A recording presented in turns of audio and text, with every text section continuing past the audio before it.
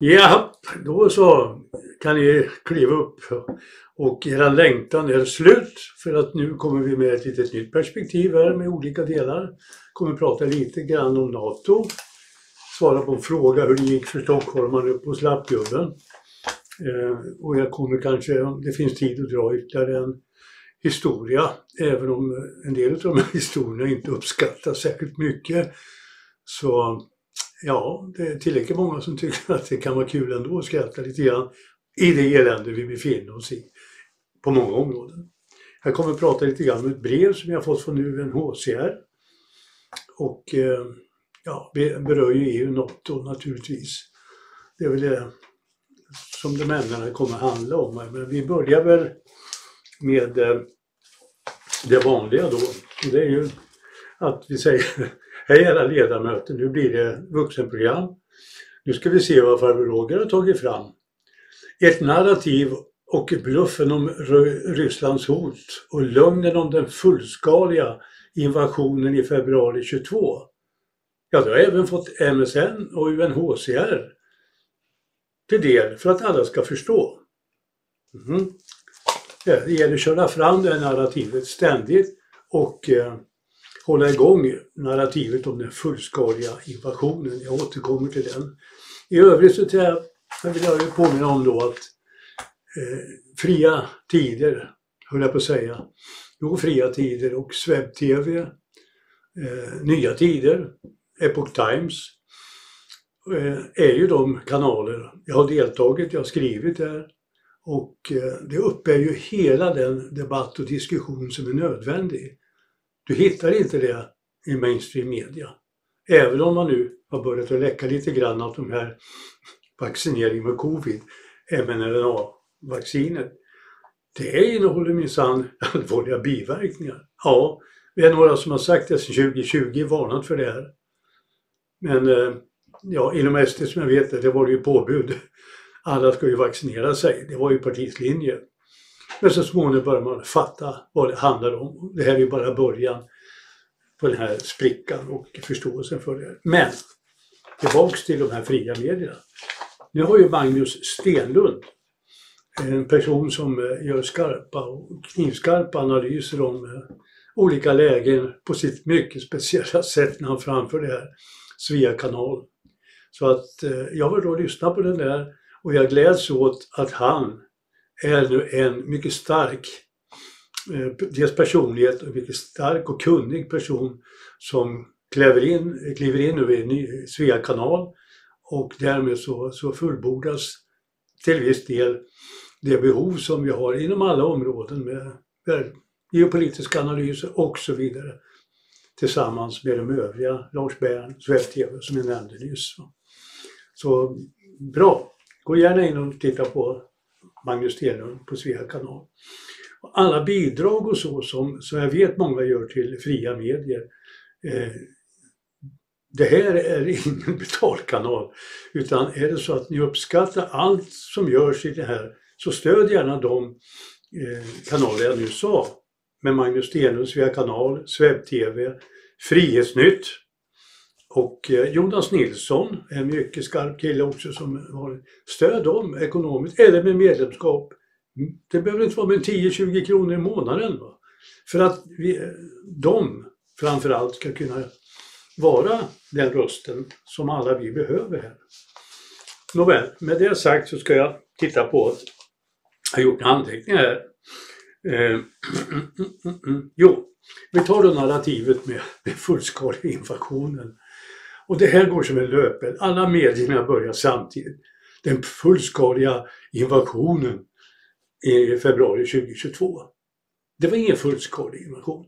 Men det, det, det är nästan komiskt att alla medierna samtidigt, även i brevet som jag kommer nämna från UNHCR, så pratar man om den fullskaliga invasionen. Ja men det var 100 000 man inledningsvis. Den fullskaliga invasionen, nej, det var ingen fullskalig invasion när tyskarna anföll Ryssland, andra världskriget. Med massor med divisioner, 20, 30 och mer därtill med divisioner. Det var en fullskalig attack och invasion kan man kalla jämförelse. Normandie, en fullskalig invasion från väst. Det var en full... 100 000 man i Ukraina. Det är långt, långt, långt, långt, långt ifrån en fullskalig invasion. Så sluta med denna. Det minskar ju trovärdigheten om ni nu någon gång skulle hitta sanningens ord. Så minskar ju hela tiden trovärdigheten när ni väl talar sanning. Eftersom ni konstant vilseleder om detta. Det var en mycket, mycket, mycket liten, mycket, mycket begränsad eh, markinvasion från rysk sida utav skäl som jag har sagt tidigare och inte kommer gå in vidare nu. Men det kan jag göra vid ett annat tillfälle igen. Varför gör man det här då? Jo, det finns ju ett narrativ nu att Ukraina slåss för Europa, för Sverige, vilket man inte gör. Man slåss för USA och deras proxykrig. Och det har man ju lockat in svansviftande nationer eller politiker som finns i Sverige och andra länder. Motsträvigt hos vissa fall. Men för Sveriges del så är det ju bäst i klassen, längst fram, titta vad duktiga vi är. Och eh, genom att sätta det här narrativet att Ukraina står emot den här fullskaliga invasionen så motiverar det ju detta att se vad de kämpar mot hela Ryssland från början.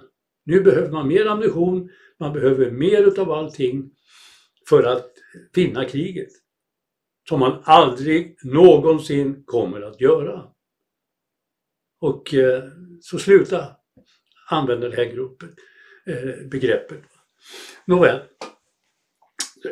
när man sätter det här då så eh, kommer jag att tänka på det här narrativet. Vi skickar ju vapensystem. Igår fick jag bilden nummer två, eh, igår eller förrgår, på att eh, en av våra Archer, artillerisystemet, är bortskjutet. Den första, för eh, lite längre tillbaka i tiden, den har jag inte fått bekräftad. Den jag fick igår, den fick jag också bekräftad senare igår kväll. Och det är ett tydligt eh, bildbevis på att nu är det en Archer i brand. Men vad gör det, eller hur? Vi, vi köper en ny. Visserligen dubbelt så dyr, men ja, Ukraina slåss ju för oss. Om det vore så att det vore sant politikerna säger, att de verkligen slåss och våran existens skulle bero på det. Då kan man ju fråga sig varför går inte den här krigshetsande regeringen i spetsen och tar täten som goda ledare, på med ryggsäcken, med vapen i hand, åker dit för att försvara Sverige? Eller tycker man att man är, nej det är någon annan det har jag inte förstått. Många av er är ju i den lämpliga ålder. Och ni som har vägrat värnplikt eller av andra skäl inte gjort värnplikten, gå en snabbkurs. Ni pratar ju om tre utbildning nu. Gå där och far iväg dit.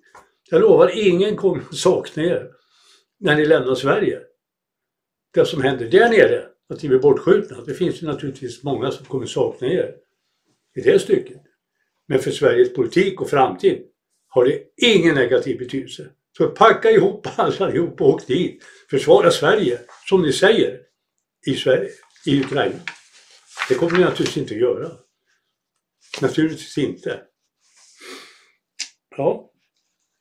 Nåväl. Då ska vi titta lite grann vidare i det här.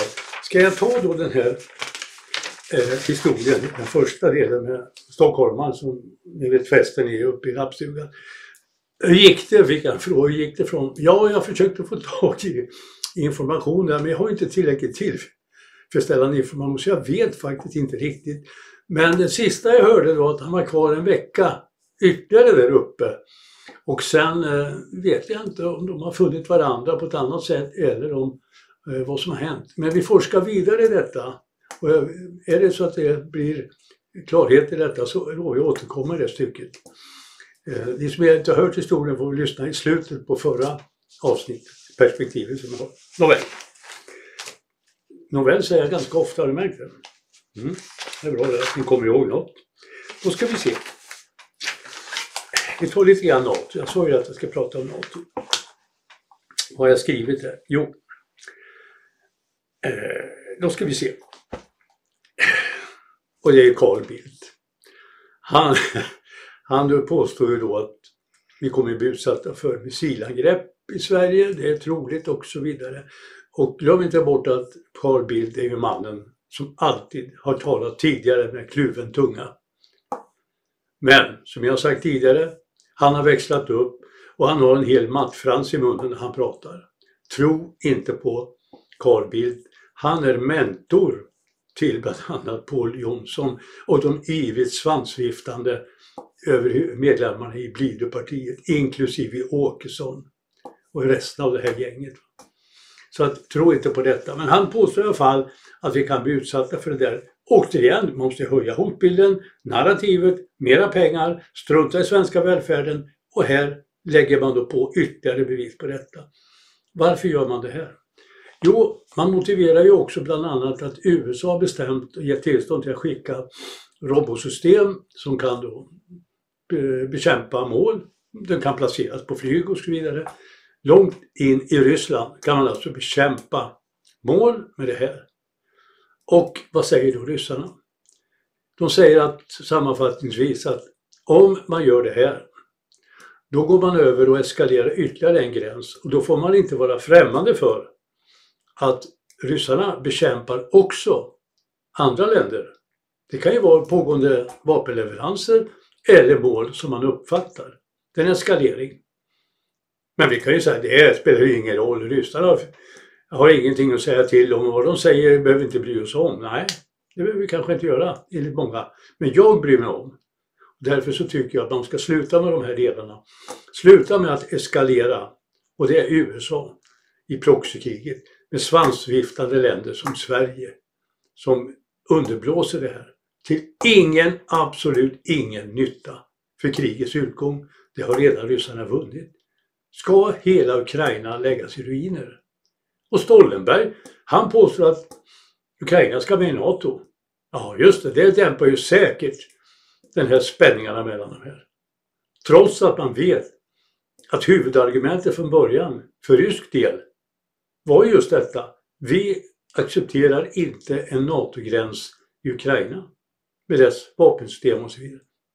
Trots att man vet om detta så driver man eskaleringen och blir det lugnt i 10 sekunder, ja då kommer Stoltenberg ut igen och talar om att Ukraina ska ju med i NATO. Och så kommer nästa pajas ut och talar om att de slåss för Europas räkning. Nej, ryssarna har inte någon som helst avsikt att anfalla västerut. De har inte ryska folket med sig, de har inte förmågan, de har inte kapaciteten. Och skulle man göra detta så skulle förmodligen många av de BRICS-länder som man bygger upp nu i de geopolitiska delarna vara tveksamma och kritisera. Så att det här är bara en spä på narrativet, motivera att man satsar inte särskilt mycket på den svenska välfärden utan, utan istället på NATO. Eh, Ukraina, de försvarar ju hela Sverige. Eh, ja, vad händer nu sen? Ja, det här med kärnvapen. Jag har fått en fråga, kommer man ha kärnvapen i Sverige? Ja, det är min bestämda uppfattning. Men man gör ju så här att man talar inte om vilka vapensystem man kommer ha. Man talar inte om, ja var de ska vara det vet vi, men var exakt de olika delarna av vapensystemet placeras ut, det kommer ju vara hemligt. Och det kan man ju förstå. Men om man nu säger att kärnvapen, att man inte kommer berätta om detta, då är det ju intressant att analysera lite grann hur uppfattar Ryssland det här? Tolkar de som att det finns nog inte? Eller tolkar de som att det finns? I min uppfattning är att man kommer naturligtvis tolka in det här som att man placerar ut kärnvapen i Sverige. Och de är ju riktade mot Ryssland. Sant eller inte att det finns kärnvapen, varför tillåter man då inte en inspektion, oberoende, kontroll, är det kärnvapen? Det gör man inte. Slutsats, förmodligen kärnvapen. Olika storlekar eller bara en storlek. Det här gör att måltavlorna mot de här delarna kommer mycket väl att vara små taktiska kärnvapen som kommer att inriktas mot baserna. Och ju mer det här eskalerar, om jag bott nära de här baserna, så hade jag nog, om jag hade ändå ska flytta på mig och röra på mig, tagit ett visst avstånd till de här. Det här är framtida bekämpningsmål i en storkonflikt, oavsett vilken storkonflikt det är. Bo inte där, om ni kan undvika det. Ja, det, det innebär ju med andra ord att proxykriget med de här systemen som placeras ut, som USA styr över, det kommer att vara mycket troligt en krigsskådeplats. Och nu påstår man då att paragraf 5, vi är med i NATO, vilken dag som helst. Det, då har vi ett skydd av NATO. Jaså, har vi det? På vilket sätt då? Ja, då kommer de galopperande hit om vi skulle bli angripet. Jaha, men vilket scenario då? Kommer en storkonflikt då eller en stormakt att angripa bara Sverige? Anfalla bara Sverige? Ett NATO-land? Eller ett alliansfritt land? Nej, det tror inte jag. Utan skulle Sverige bli angripet så är det i samband med flera länders inblandning. Så tror jag det. Och kommer då tyska, franska, amerikanska soldater galopperande hit för att dö i Sverige? Det tror jag inte ett dugg på. Däremot så tror jag att det kommer likna väldigt mycket vapenleveranser där man då kan undvara. Men det finns ju ingenting kvar snart. För det är skickat till Ukraina. Det kommer att vara som med Ukraina, som är vapenleveranser om det nu finns något. Och eh, vi får klara oss själva. kommer säkert få för nordiska länderna lättare att få in olika system naturligtvis i de lager och vice versa. Det tror jag blir scenario. Vi, också glömmer vi inte bort att paragraf 5 som man alltid, alltid läser upp.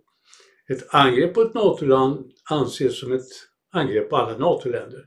Vi har nu en säkerhet. Jaha, jaså?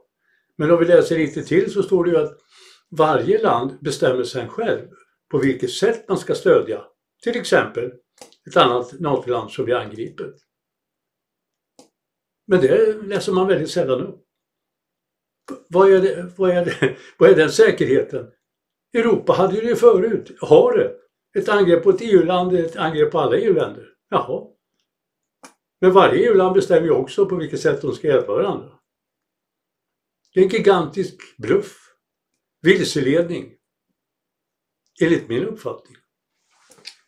Ja. Då ska vi se om jag ska gå lite vidare här.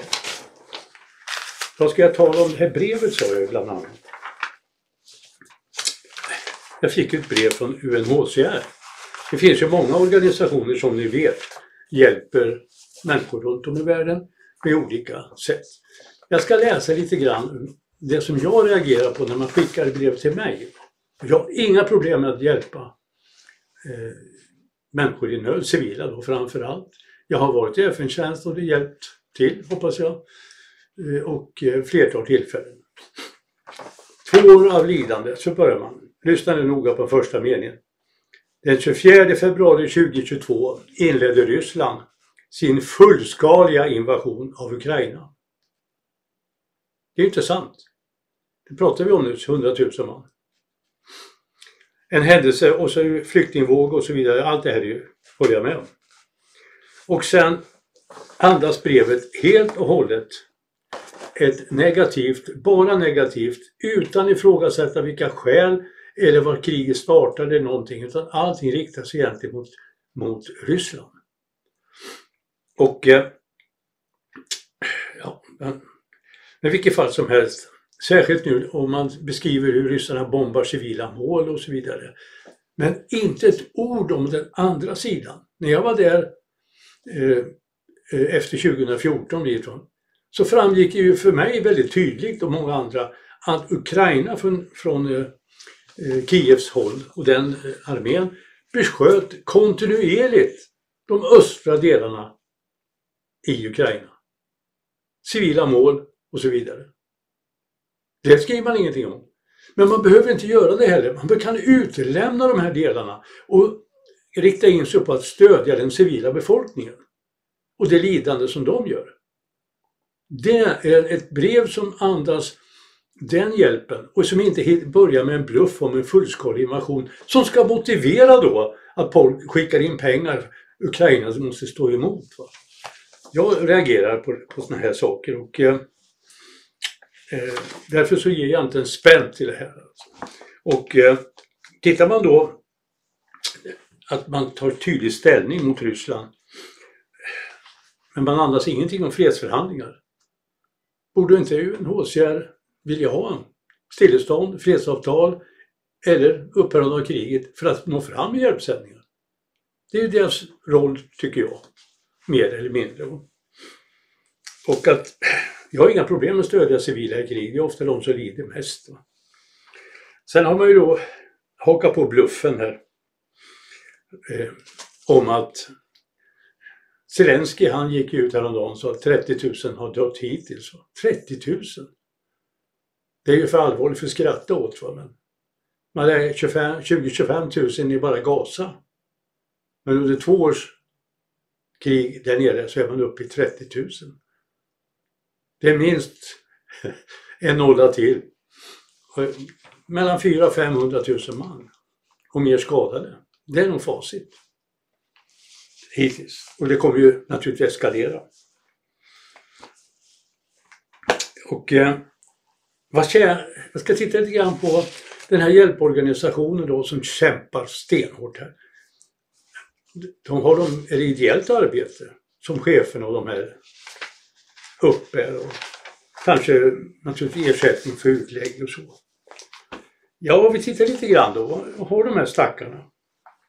Nordiska länderna, chefen för de här nordiska länderna, Nordic Development Fund, det är nordiska ländernas gemensamma organisation för klimatinvesteringar i fattiga länder. De hjälper, det var ju inte UNHCR nu, men det ja, 223 000 ungefär per månad.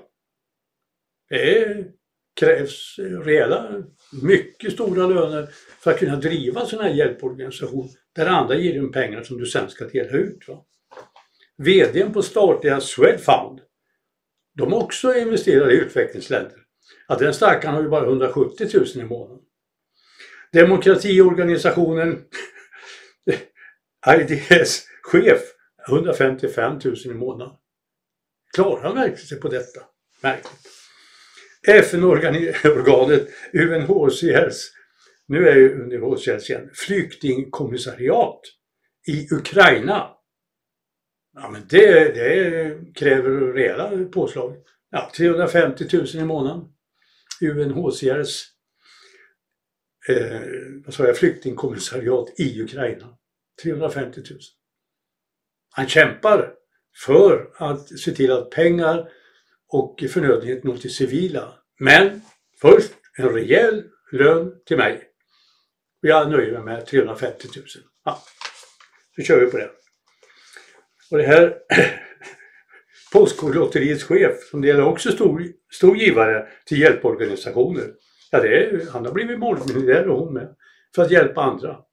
Så att om vi bygger upp en gigantisk överklass så för att leda då hjälporganisationerna. Jag reagerar på det här i alla fall. Jag tycker att det är lite mycket tveksamt till att ge de här. Och nu pratar vi inte om de här 50 000 miljonerna ungefär som den, enligt mitt sätt att se det, eh, mer eller mindre korrupta organisationen Sida delar ut. Skattepengar, 50 miljarder, delar ut. Kontroll, ah, mycket begränsat. Mycket tveksam. Jag har ju själv sett dem i arbete men det får bli en annan historia. Man gör om, gör rätt. Det är helt enkelt så. Ta inte ställning i era brev och så här vidare. Och gör, gör gärna en redovisning och uppföljningar i de här breven så man kan kontrollera vad, vad gick pengarna till? Och eh, bli lite mer trovärdiga helt enkelt. Ja, vad ska vi då prata om? Har ni somnat? Hur blir det?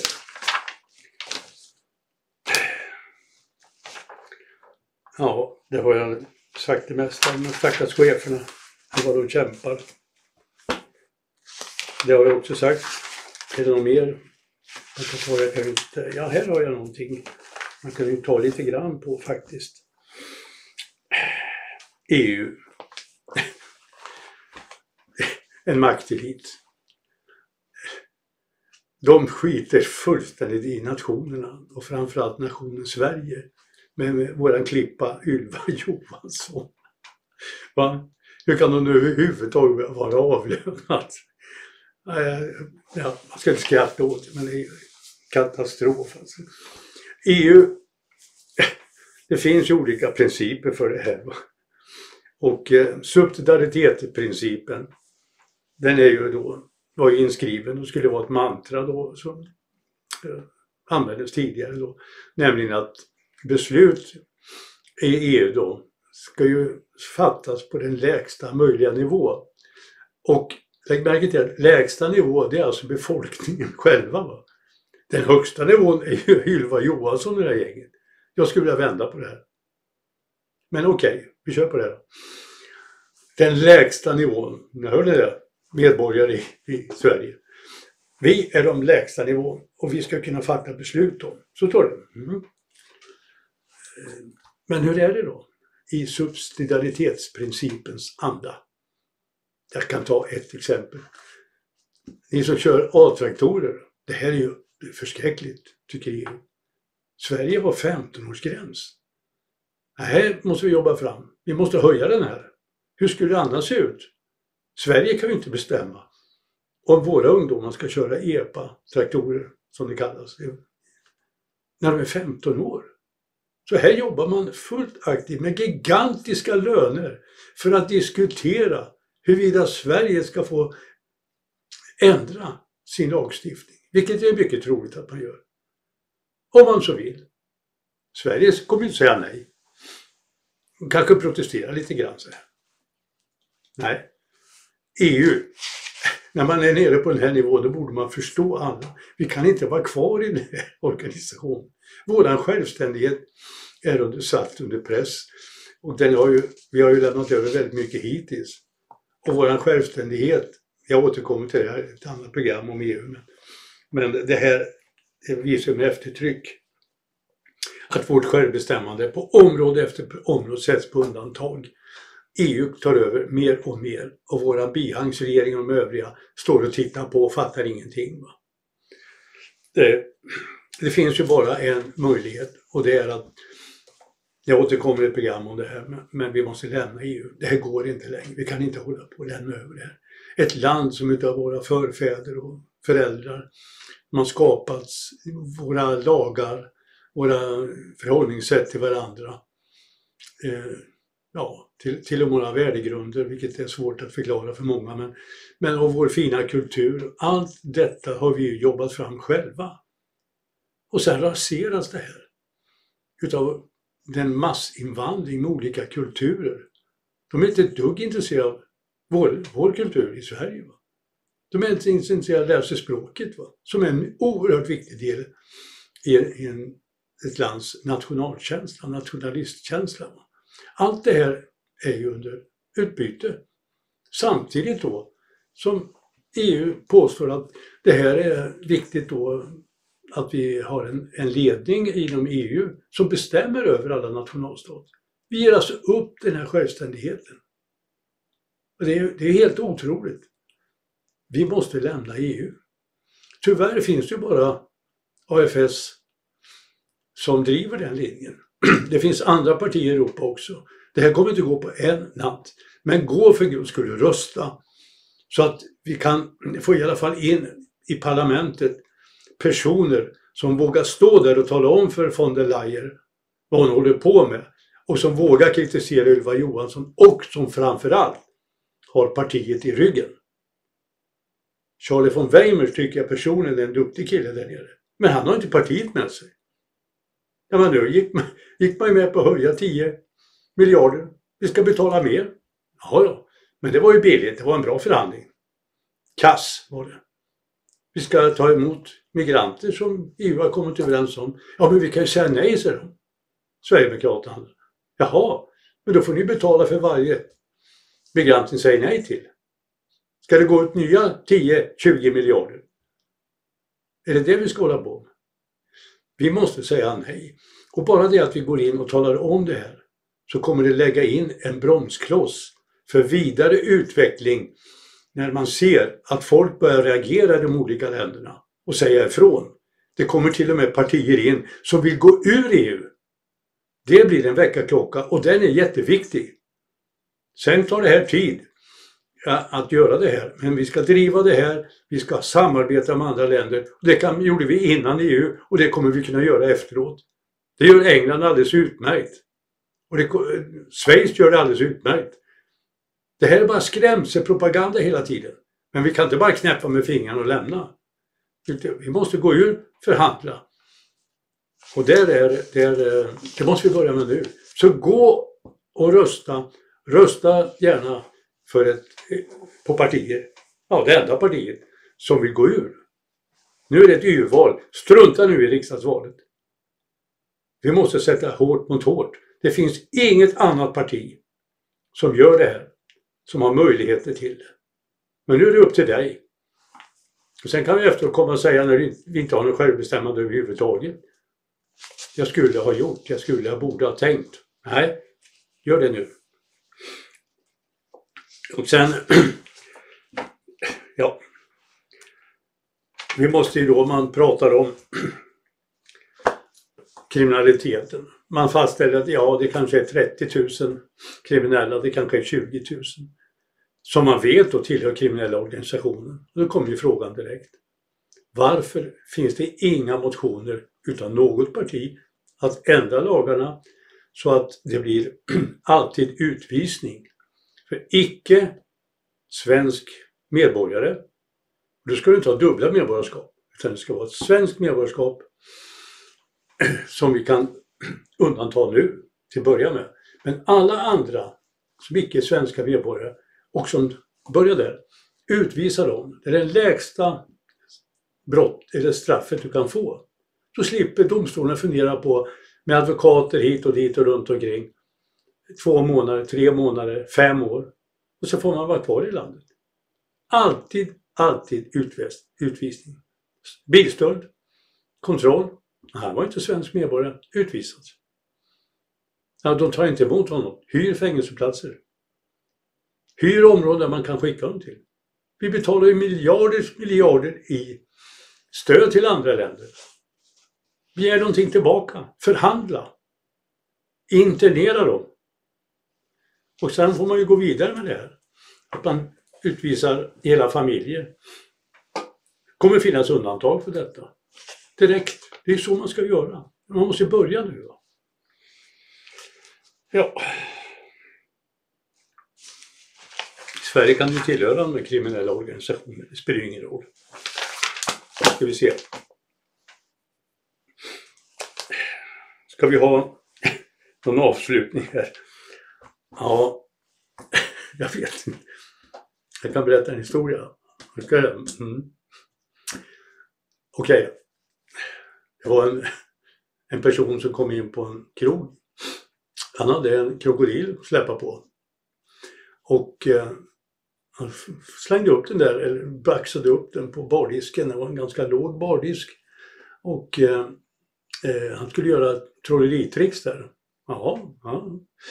Så att han tog fram en, eh, krokodilen och så knackade han på näbb, eller på käften på den. Så han öppnade ju gapet. Och sen drog han ner byxorna och sa han, jag ska göra tricks.